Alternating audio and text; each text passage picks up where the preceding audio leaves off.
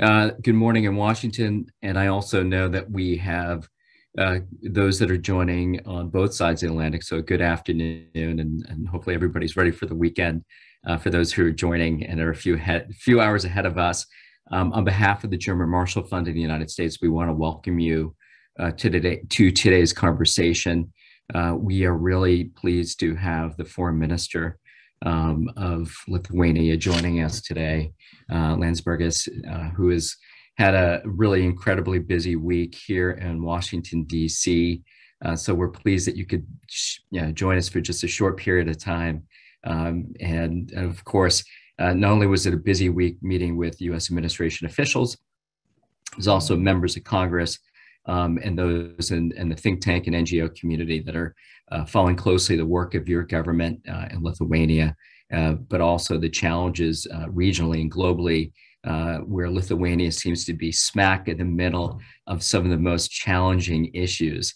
Uh, my name is Jonathan Katz. I'm a, I'm a senior fellow, but also director of democracy initiatives at the German Marshall Fund in Washington. I'm also director of the Transatlantic Democracy Working Group. Uh, Kristine Berzina, my colleague, who's in Washington, D.C., um, who just uh, has traveled and has joined us in D.C., but has long been part of GMF's uh, leadership, uh, both in terms of security, defense, uh, energy, you name it, um, a real leader, a foreign policy uh, leader. Just thank you so much for joining us and being my co host today and moderating this discussion. As I mentioned, the foreign ministers in Washington this week, um, and uh, we were uh, good enough to see the statement put out by Secretary of State Blinken, really speaking to uh, the value and importance of U.S. bilateral relationship with Lithuania, uh, but touched on a number of key issues, which we'll, we'll focus on uh, over the coming over the coming hour. but again, Foreign Minister, thank you so much um, you know, when uh, when uh, your embassy, which we've worked with closely here, reached out to host this meeting, we were really pleased that we could do it uh, because um, the region is facing and Lithuania deep challenges. And I want to just say that you know, having sort of watch you as you took over just uh, a short while ago in this position. It's more than just a short while ago, but in the midst of both the pandemic, uh, but other challenges, um, I really view your work and that of your foreign ministry, both you know, sort of rising stars in, in national security, both in Europe and the transatlantic space. Um, but we're really pleased that you could be here. Um, I did want to do one thing um, is just I, I wanted to do a little bit of your bio just as part of the, uh, and then I'll do a little bit of housekeeping too, and then turn to you for for an opening uh, for an opening statement. Um, but I wanted to just highlight that you've long been uh, in the political scene uh, in Lithuania, both as chairman of the Homeland Union, uh, uh Lithuanian Christian Democrats since 2015, uh, a member of the European Parliament, a member of the Lithuanian Parliament, an active member of the group of the European People's Party, um, and you've served in, in many different positions, national security, political. You have sort of the blessing of, of both dealing with domestic issues, but also international issues. And I think in Lithuania, it seems to me, uh, even domestic issues are really internationally focused. They're intertwined. And of course, you know, when we think about uh, what's taking place, the Zapad exercise um, across the border in Belarus, all the challenges over the past year, um, Lithuania stands out as a country both on the front lines of, of democracy, but also a country that punches way above its weight in many ways um, and I know we'll talk both about the challenges of China, uh, but also of uh, both Russia, Belarus, uh, transition in the region, economic challenges. Um, and most of those issues really were, were in focus when I saw the Secretary of State's uh, statement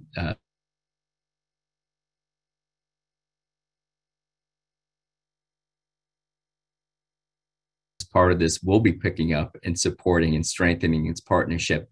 But we really want to hear from you, and I'll turn it over to you shortly to to really maybe talk a little bit about what these foreign policy priorities and challenges are that you see from Vilnius, uh, but also um, one thing that I wanted to ask you too was about about um, you have come here and you're obviously looking to strengthen the relationship. One thing that I have heard in conversations um, is that I think everybody's appreciative that the Biden administration is seeking to strengthen its partnership uh, with countries in Europe and that the transatlantic relationship is a cornerstone of foreign policy for the United States security, transatlantic security. Uh, but I've also heard on the European side um, some saying, particularly in Central and Eastern Europe, that the United States is not doing enough or could do more to strengthen that relationship. So, what I wanted to do first is to, if I could, just just kick it over to you um, to to have this conversation, and feel free to have some coffee as you're doing it because I know it's early morning, um, and and ask you about you know really you know as I mentioned, Vilnius is in and your government has taken on some very challenging issues. We didn't even discuss the migration challenge too, um, and um, and faces real real challenges and and is looking for additional support um, as you take on some of the larger foreign policy challenges of Russia, China, Belarus, regional challenges. Uh, what do those foreign policy priorities look like for you? And then also maybe you can answer the question. Uh, I'm curious to hear about how your meetings went this week, and and if you're if you're seeking some type of of you know of of of real um, you know things that you take away from this week and what the United States can do. What does it look like going forward? What can the United States do to strengthen the relationship?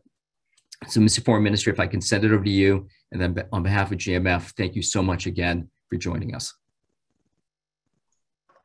Well, thank you, Jonathan, uh, for uh, this very nice presentation and uh, nice introduction. I'm honored to be here with you and uh, have this opportunity to uh, to talk. Um, uh, I think that you've raised some very, very important questions. So I will start with the situation uh, in uh, in Lithuania, uh, where you rightfully mentioned that you know even um, even though we still feel as a as a new government, we started working last December, uh, but uh, you know we're reminded that time is flies very quickly, and so it's it soon be be a year when we when we started our our work in the new government.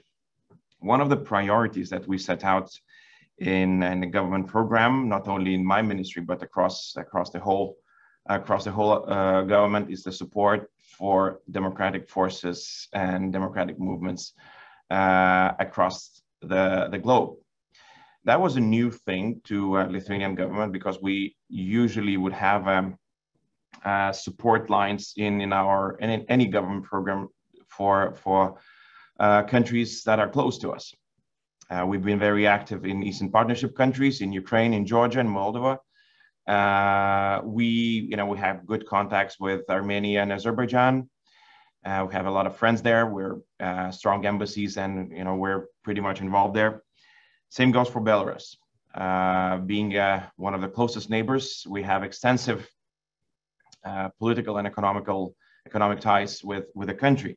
So it was obvious um, that uh, that we will be uh, the ones or one of the first ones to to react after last year's stolen election in in in Belarus, and to invite uh, the Belarusian opposition uh, over to to Vilnius to have a shelter and refuge. Um, uh, so close to their home and with the possibility to have a, a safe space to uh, to pursue their political ideas and have a have a conversation, an open conversation with the rest of the world. Uh, but this government um, felt strongly about the whole principle that it should not be geographical. If you're supporting democracy, and so basically you have to do it, uh, you have to reach out, and others have could should have a possibility to reach out to you and I like this. Uh, I like this phrase. Uh, it's not that often actually used. It's uh, the canary in the mine, uh, and I think that Lithuania is currently in in this sort of position. How uh, is there a possibility for a government, uh, democratic Western government, to show meaningful support to democracies across the globe and withstand the coercion? So when the um, migration crisis started in the beginning of June, we were, you know, it was easy for us to tell that uh, Lukashenko is doing this, the whole operation, bringing people in from Iraq, sending them to our border, is because he's he wants to put enough pressure that Lithuania backs down. Backs down from support to opposition, backs down from support to Svetlana Tsikhanouskaya, and uh, not only them, but we have a thriving community of Belarusian democracy in, in Vilnius. Uh, so it was obvious that he would like us to step away from this. And we were very firm to say that, look, we're not, we're not going, going back. Uh, this is a meaningful choice. This is this is uh, this is what we this is who we are, and this is what we do. Um, and I can say that the things that now we're experiencing with a coercion, economic coercion, it's not a hybrid. It's more um, uh, the one that the world is more used to, uh, that we are feeling from from China, is uh, is a similar is going a similar direction. Basically, putting a lot of pressure on, um, on a small country, on a small economy that stands with the people who are uh, who want to have a more, more stronger relations with, with, with our country and in essence to you know have the support in a European continent for their for their democracy. And I'm talking about about Taiwan, of course.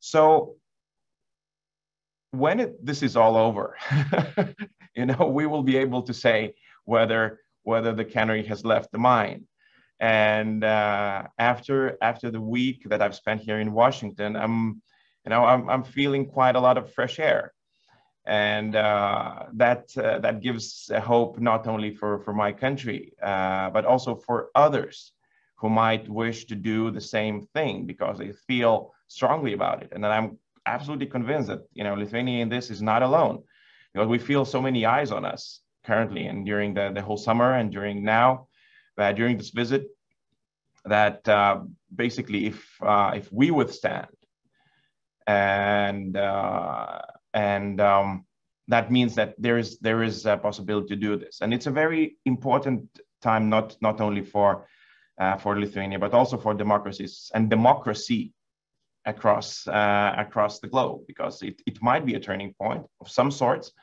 you know of which way and how do we deal with um, uh, authoritarian encroachment, which I think is quite a, a real thing. So that would be for my uh, initial statement. Thank you. Can I just have one one quick follow-up? What what were your takeaways from your conversation with with Secretary Blinken? Um, I think that the, the, the most important thing is um, that we on both sides of the Atlantic, you know, if I might say so, uh, that we understand the, the geopolitical implications of what's what's going on. We see uh, the, the the meaning of the of the support of the democracies to democracies as a thing of today.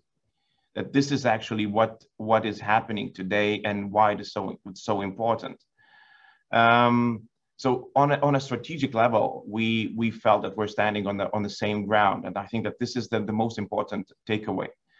Uh, obviously, I think that there are possibilities and um, ideas how Lithuania's position can be strengthened, how Lithuania's situation could be could become a rule book of sorts of how uh, democracies help other democracies. Uh, so, so now what we're what we're talking with the administration here in Washington is mostly the ad hoc uh, support, ad hoc help to um, you know beat economic, beat um, financial, beat investments, beat uh, security things that you know that we can strengthen our cooperation in.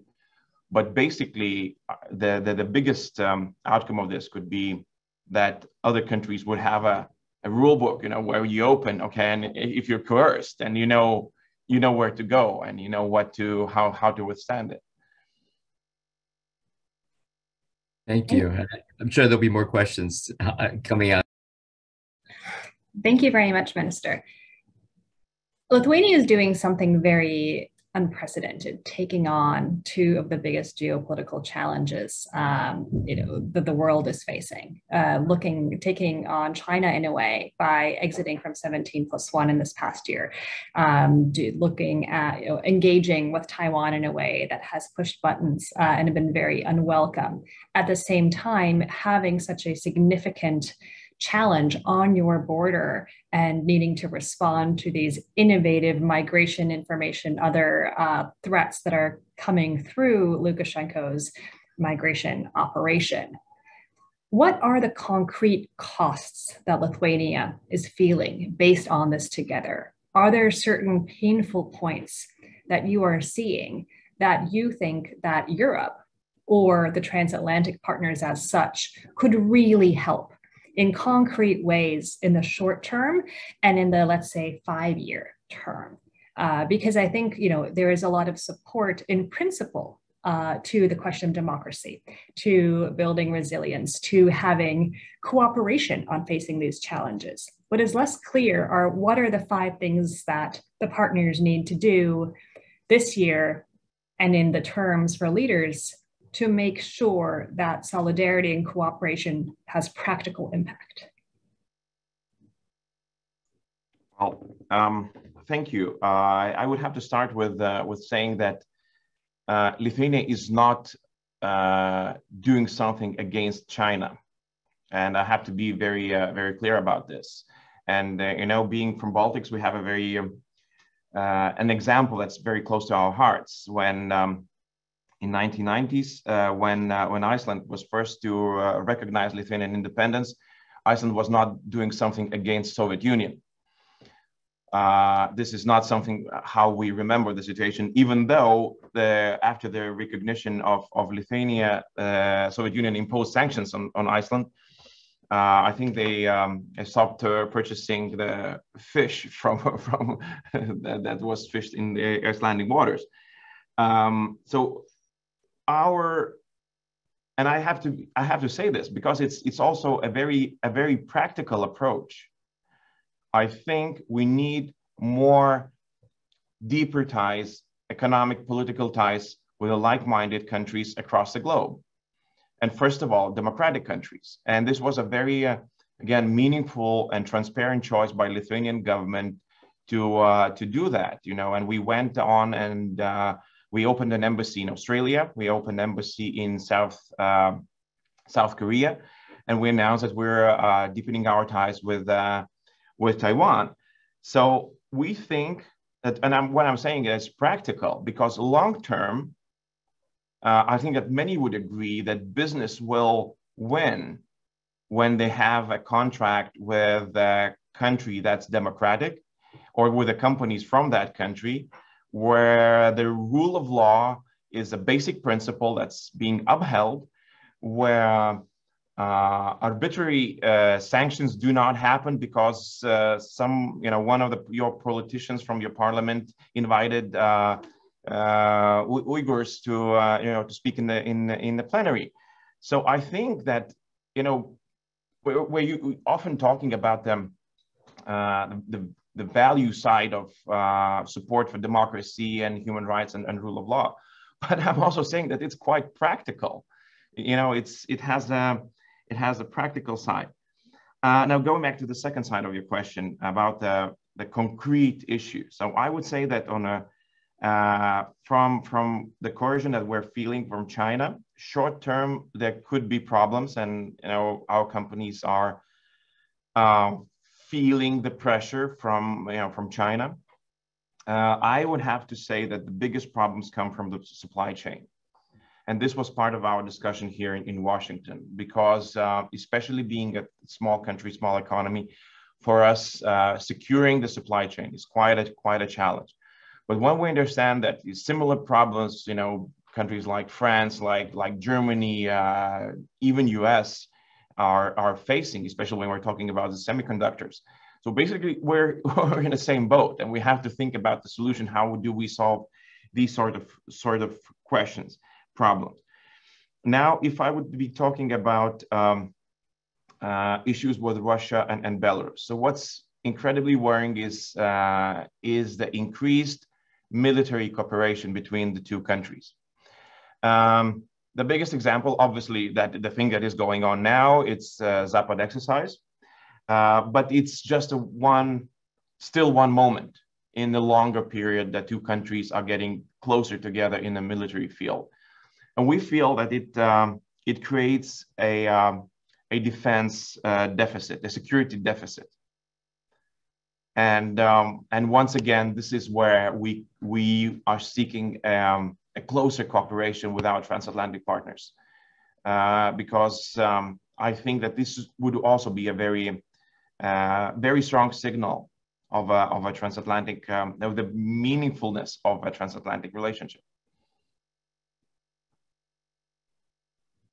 Thank you very much for those answers. We have a number of questions already trickling in, and I'll turn those over to you because they come at various angles. Um, one question is specifically about the current conditions in Russia and Ukraine. Uh, there's a question from Carol Fink about uh, what is Lithuania's stance toward the impending Russian elections and towards the current Ukrainian government's crackdown on pro-Russian voices. Um, so that is from that angle. A different question uh, that we have is more about the question of alliances. Uh, this is from John Heffern. Uh, the question is, I know Lithuania agrees that we need to build the alliance back better how can we use the new strategic concept to make us stronger? So this is uh, two sides. Let's see how it is possible to address them. Well, Russian election, I think I would start with that. It's um, uh, it's indeed a um, a worrying um, event uh, I wouldn't go as far as as uh, to call calling it election up front. Uh, and I have to say that we, the West, needs to be prepared um, to take a stance and um, and think about the non non recognizing the the election. Uh, having um, basically all um, members of the opposition in uh, either in exile or in jail. Uh, and um, with the, the, the, evidence of fraud that is already coming in, I think that it's um, where we would not, we, there is a possibility that we won't, won't find ourselves in a position to recognize uh, the election as, as one that it's a legitimate one. Uh, and I know that it won't be easy decision for on in European continent for many countries, I think.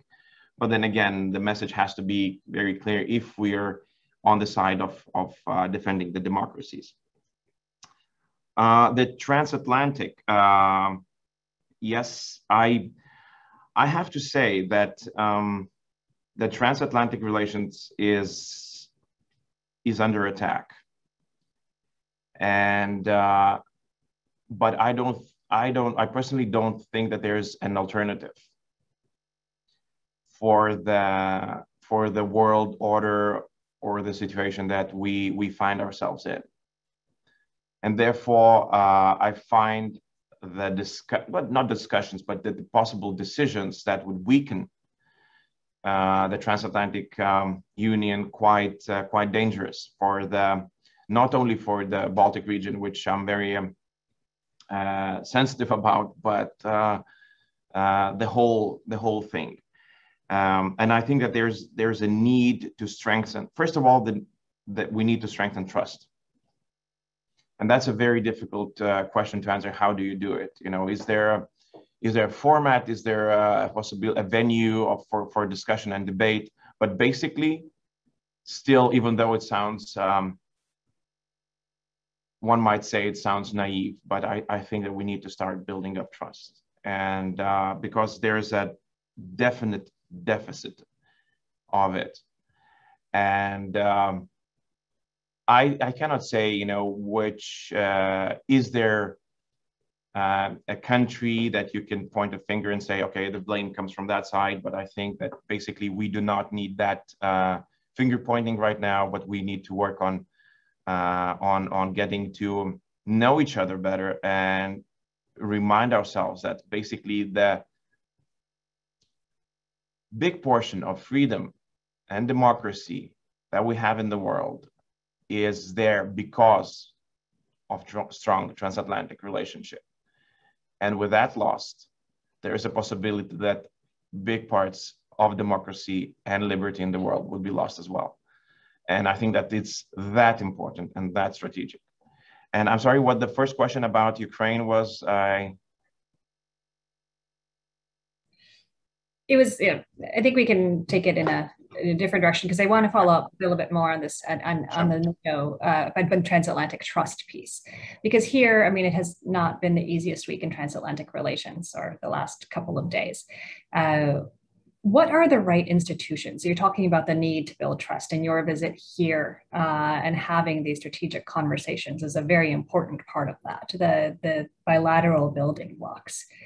What other ways are are going to be the right ways uh, to increase that trust?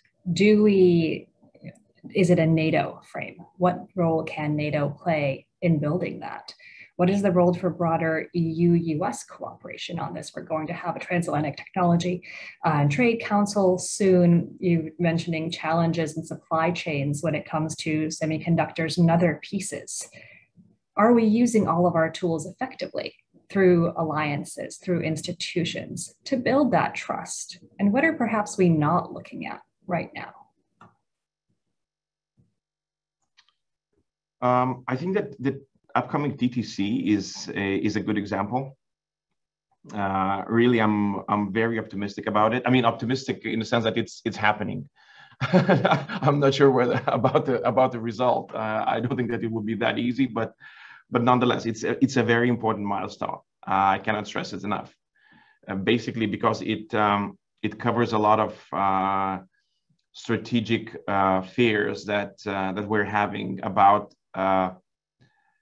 uh, the competition between EU and US that is being used by the adversaries. that they are actually willing for us to to com compete in, in in many fields, and they are winning out of this so I think that you know for us to to sit down and talk about some some you know start talking about trade issues is is a definite definitely a step in the right direction, and I'm I'm very supportive of, of this.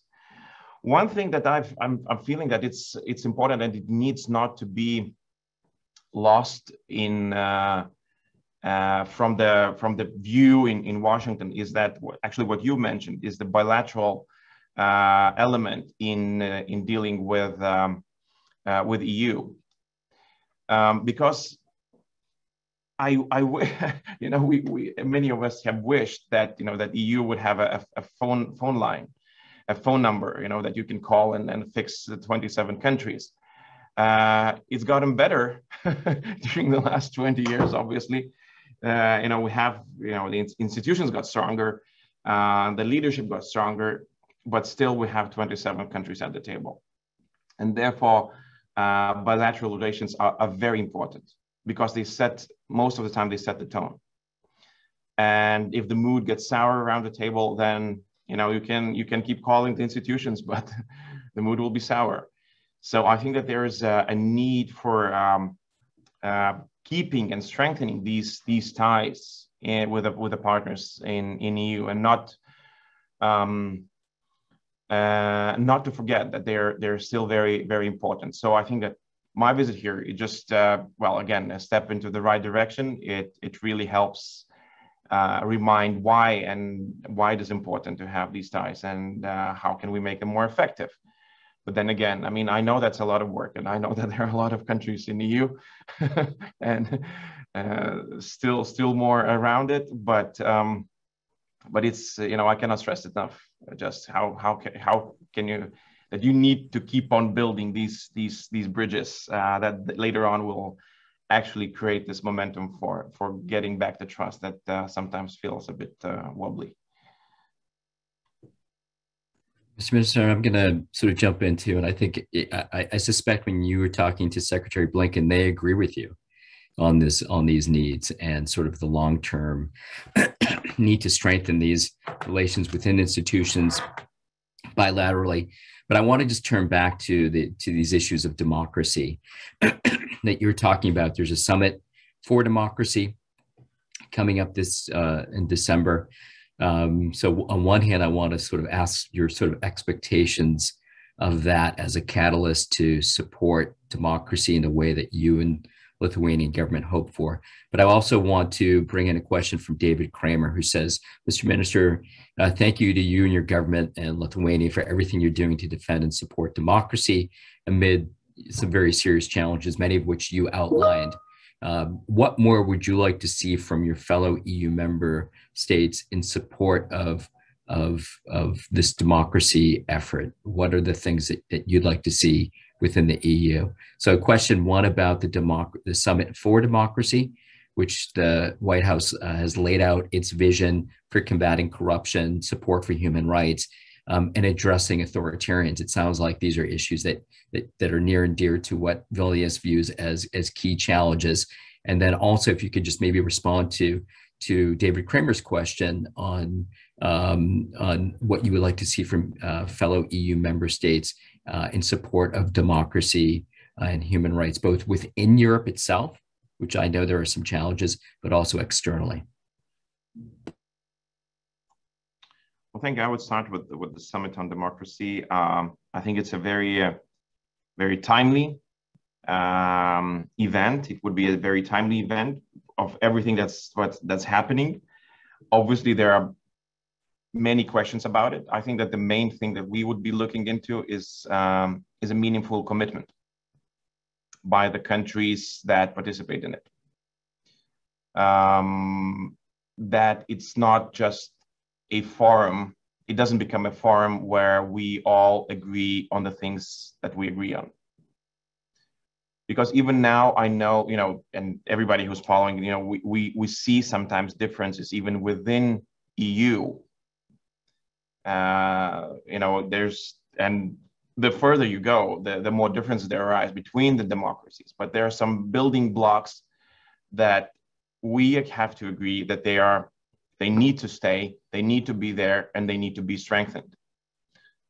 Uh, so that's that's one of one of the things. Now, um, what can we do uh, in in EU? I think that we need not to lose sight of countries and communities uh, where democracy is um, uh, is being fought for and for us, it's very close to our heart. Is the is is the is the region of of um, uh, Eastern Partnership.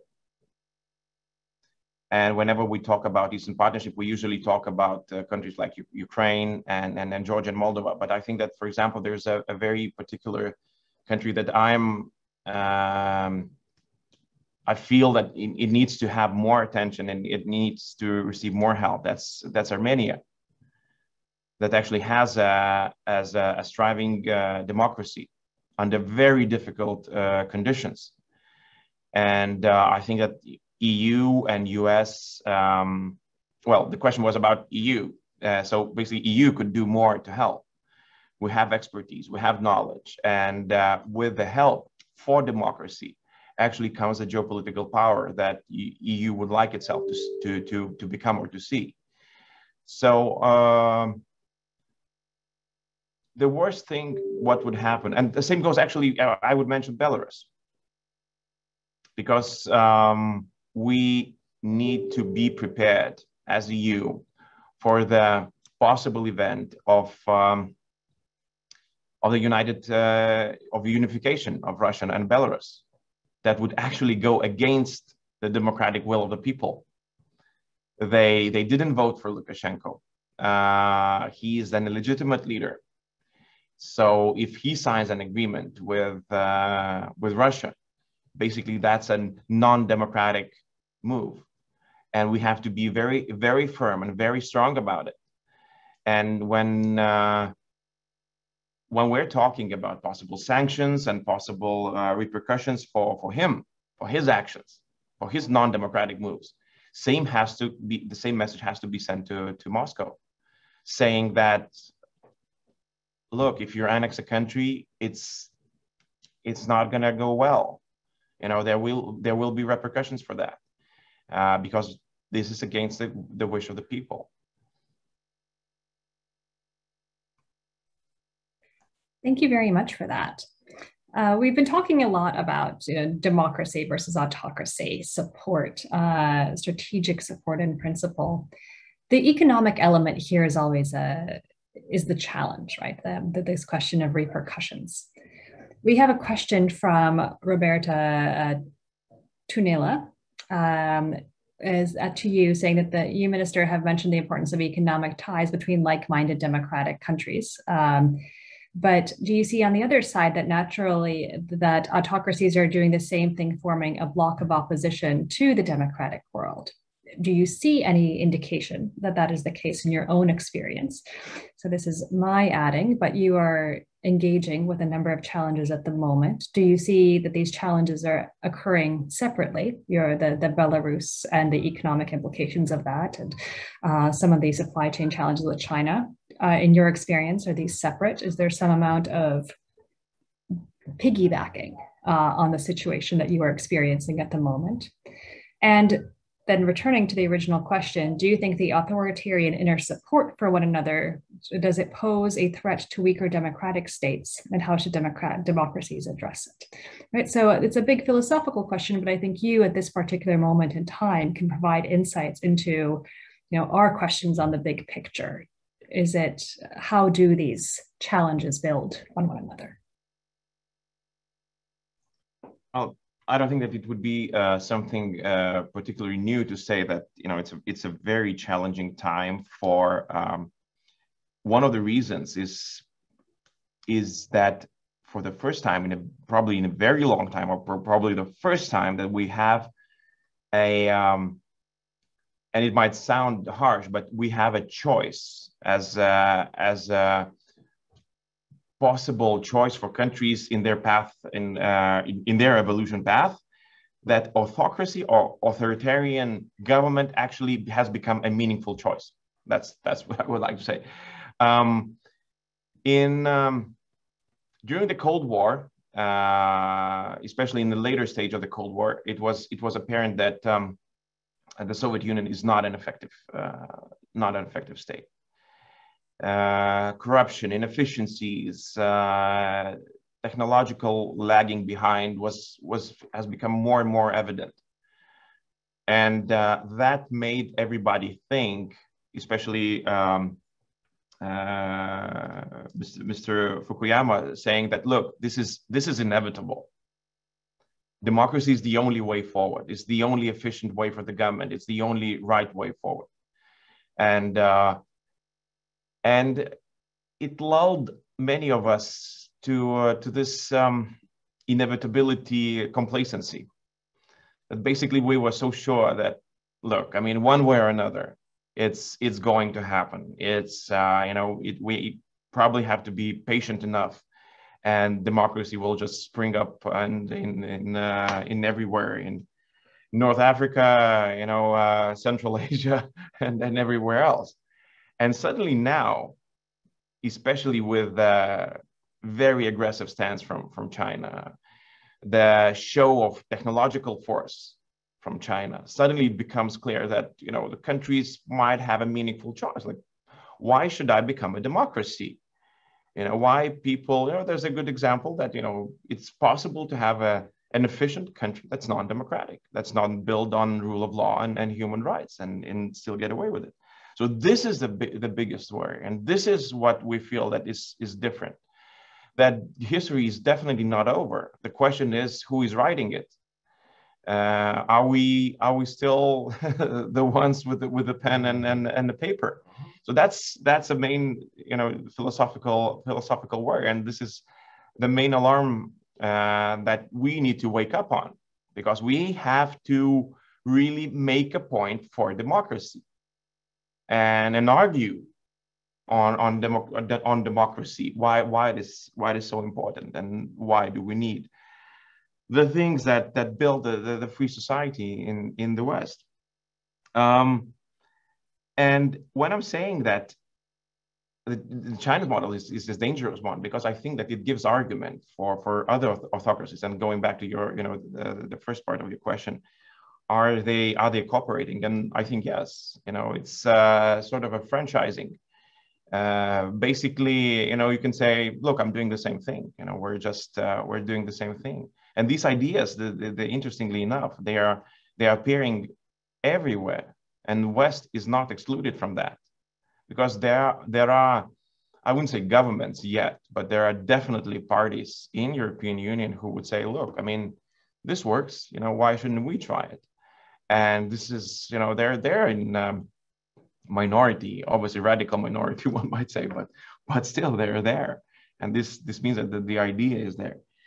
Uh, on a practical note, is um, we've seen a lot of probably non-coincidental coincidental uh, cooperation uh, between uh, our neighboring autocracies and and China. Um, the moves, the political moves made by China, they were announced in the middle of, of, um, of summer when we were feeling the pressure from Belarus with migrants, uh, cyber attacks happening, uh, obviously people protesting against the COVID restrictions and uh, vaccination. So, and uh, I, I, I, have to say that it's, um, it's a cooperation of sorts and uh, basically to try and find um, the the biggest uh, pressing points for a country to to really break and, and retreat from from their stance. Um, so this is this is a signal for the future as well, because in the future I think that we would see we would see more of it. Thank you very much for that. And I think that's just a very interesting point for how we address a lot of these questions on this side. We've been trying over the past few years uh, under the framework of hybrid or other threats to try to see that a cyber attack or an information operation, um, or in this case, migration, are, are not necessarily separate and we need to look at them together. But looking then across actors as well and how they may be using opportunities um, is, is important. And it really stretches a lot of our own conceptual frameworks or in our institutional frameworks uh, because we are looking at areas that are in different regions uh, and desks that perhaps address this are, are different in in all of our institutions and in our, all of our countries. So I think having this example of what Lithuania is going through right now, uh, I think will force us to be more creative um, and also more resilient in the response that we can get from it. We have some questions about, well, what do you do about it next? And there's a question from Noah Barkin, um, who is also uh, at GMF. Uh, I'm curious for Minister Landsbergis's view of the year of the EU's three-pronged approach to China, a partner, a competitor, a rival, which dates back to March 2019. This implies a degree of, comp- of compartmentalization in the relationship that doesn't seem to be working very well in practice. I think a lot of people would ask themselves these days where China is a partner in the EU does this approach need to be updated?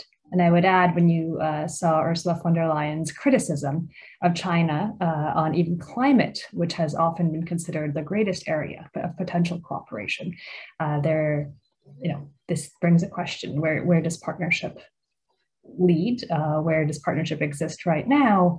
And is the EU on the right track in its approach? Well, I'm a strong believer of of partnership that are that are based on uh, some sort of uh, basic uh, common principle. And uh, I'm not I'm not convinced that we can have meaningful partnerships with Russia or China, even on climate. And especially when uh, when China is saying like, if you want uh, us to to cooperate with you on climate, you know, you have to stop asking questions about Uyghurs and uh, so, how does that cooperation will work in the future? I'm I'm not 100% uh, sure. Uh, and what are, are we going to um, to forfeit in in, in trying to uh, uh, pursue this this this partnership? So basically, I I still believe that countries have to have this common understanding of rule of law, basically of this Roman principle of a contract being made and that is uh, that is binding the both both sides, and um, that you have to have a, some sort of a equal footing between between both sides. And I don't think that you can have it uh, meaningfully with um, non-democratic countries. It's very difficult to to expect that they will hold on to their part of the agreement. Um, the European approach is. Um, I don't think that it's it's it's working partially also for the similar reasons because um, and we've been advocating as, as a Lithuania between the between the other member states that the question of format of how do you talk with China is a very important one. Uh, because now it's either what was recently known as 17 plus 1, now it's 16 plus 1. Either it's bilateral, where bigger countries have a bilateral uh, contacts with, with China. And basically, there's nothing else. So, how can you approach on this three way three way approach with China? Who who does speak for for your for Europe? who will say the things that China doesn't want to hear? Who, who is that? Who is that person? Because you know, if China sets the the topics for discussion, they will be a pleasant ones. They will be the cooperation that China needs. They will be the the the angles that China sees beneficial, but not the not the European not the European countries. So I think that's that's just why it's flawed, and we've seen that very uh, vividly last year when uh, there was an intention to sign the comprehensive agreement on investment between EU and in China, and all the way to uh, to December there was almost no public discussion about you know how should we you know is it a good good thing to sign it, and just when it became public that okay this is us this is EU signing this uh, this huge agreement with with China, suddenly you you started hearing the public uproar, and people were not happy, not happy at all. And one of the reasons now that it's stuck in in the European Parliament with no clear sight of how to get through through this.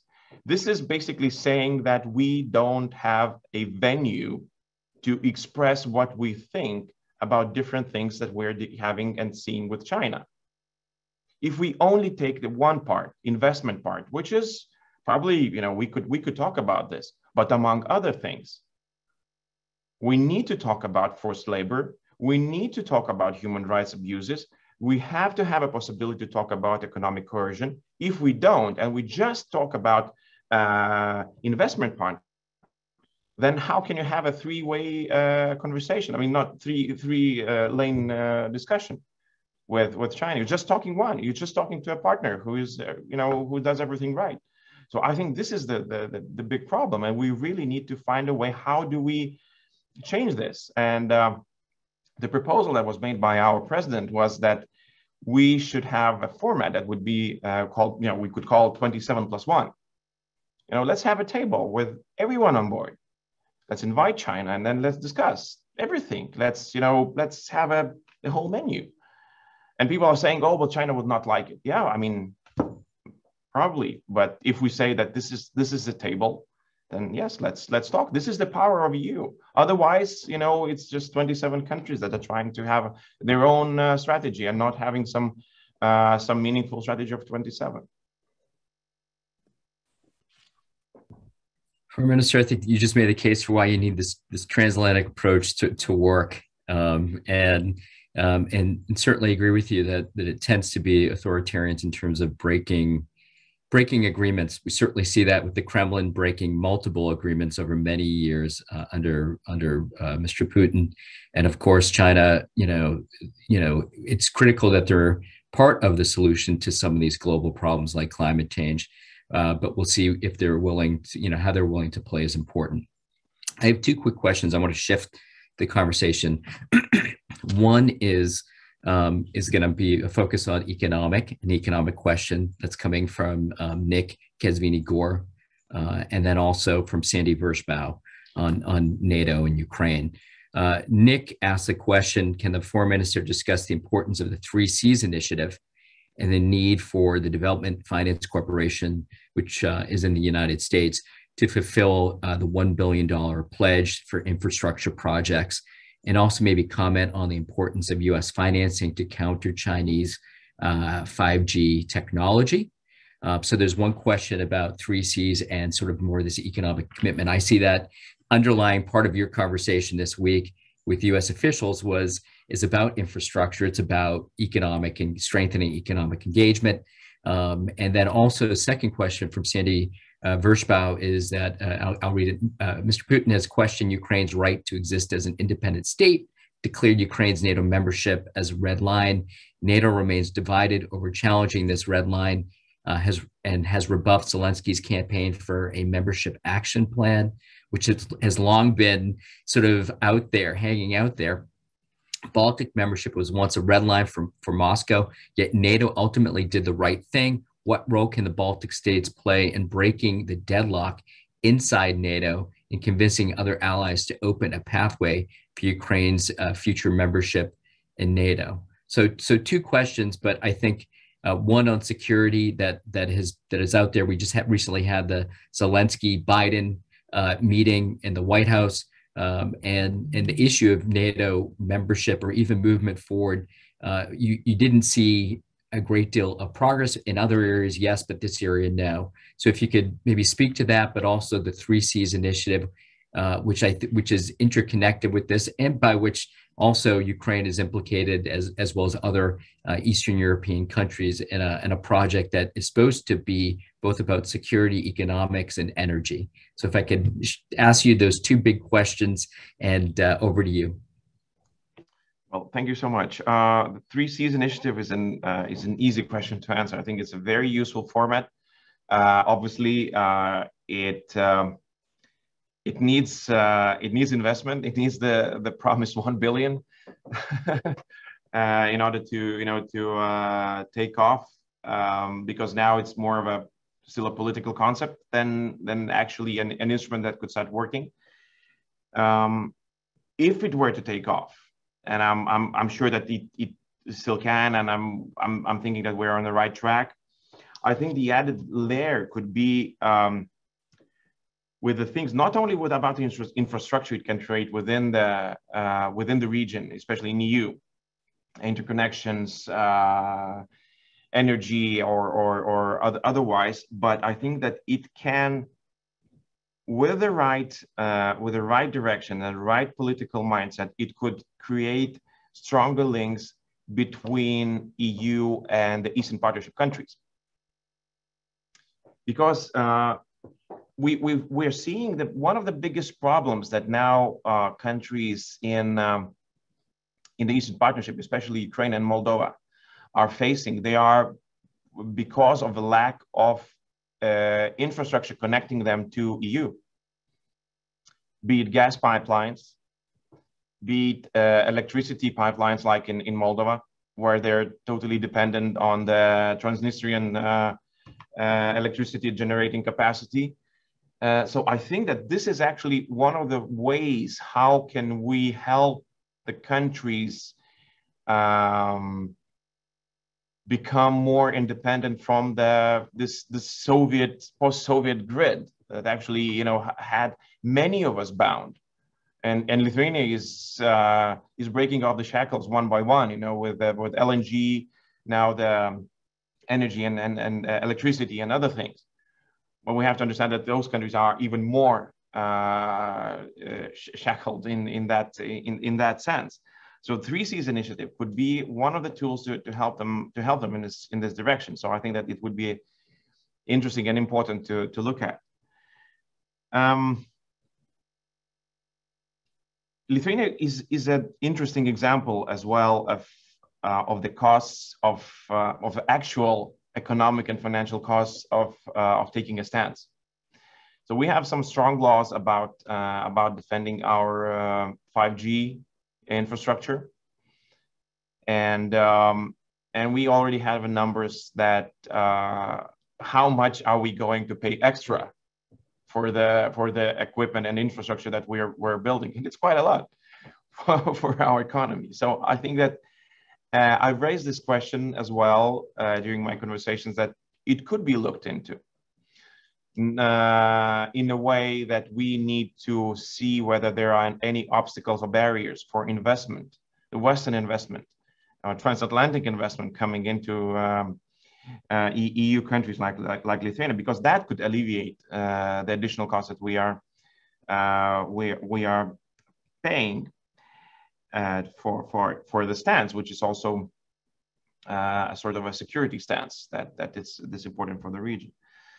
Now, about Ukraine, uh, I can I can talk currently about our our country's position. So we've been a, a strong supporter of Ukraine's path to to NATO, uh, and we we are and we remain and we will we will continue to to help the country in any way that we can, sharing our experience on their reforms and, and, and whatnot. So that's that's not not the change, not about change.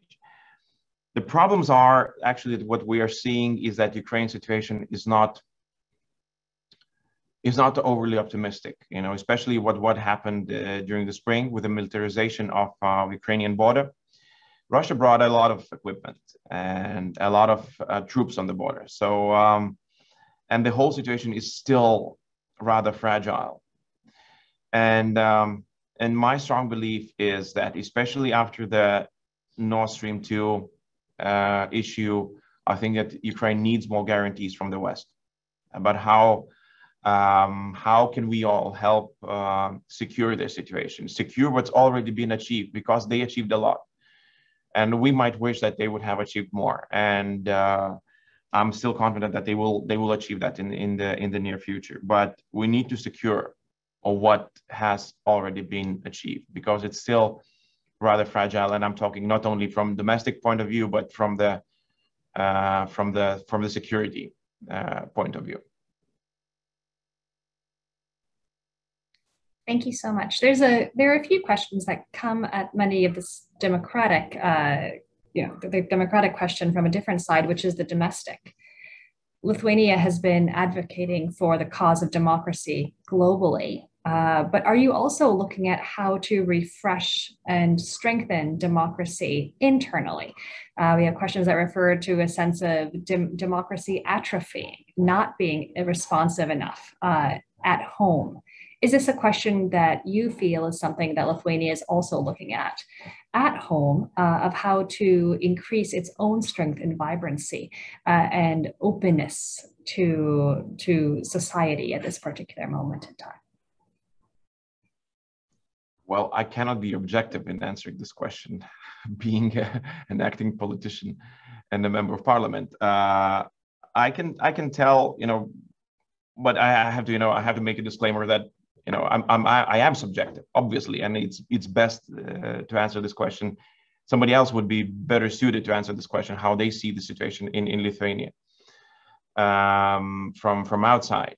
Um, we we had, and I personally, I was leading the uh, the opposition for for some time during the last four years before the election, um, and we've seen ways of how uh, how easy it is to, to, to, to have democracy uh, deterioration.